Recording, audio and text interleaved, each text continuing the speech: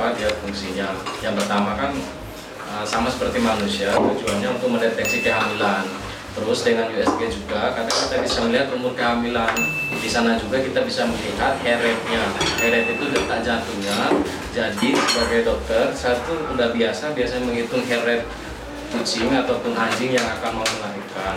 Biasanya kalau rate yang lagi fase-fase mau melahirkan, biasanya di bawah 222, 222 itu udah harus dikeluarkan ya. Jadi selain kita bisa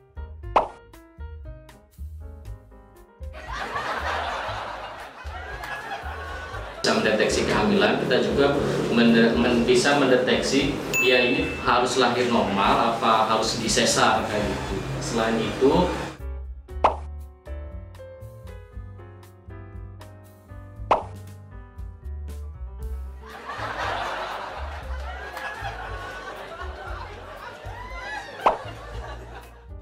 kehamilan juga bisa dideteksi.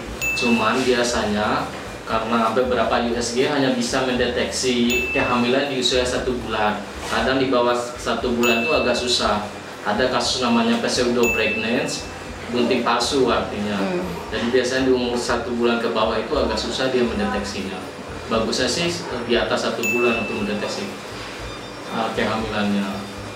Dan juga sangat penting sih untuk uh, kesehatan induk-induk terutama yang kehamilan pertama itu biasanya kan tulang pelvisnya itu kecil dia